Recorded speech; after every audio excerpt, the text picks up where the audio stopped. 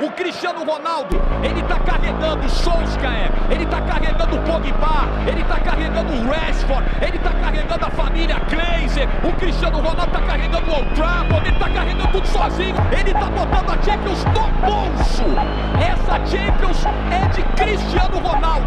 Ele pegou a fase de grupos da Champions e botou no bolso. Eu resolvo. Se ninguém faz nada, se não tem coletivo, se não tem trabalho tático, se não tem futebol, eu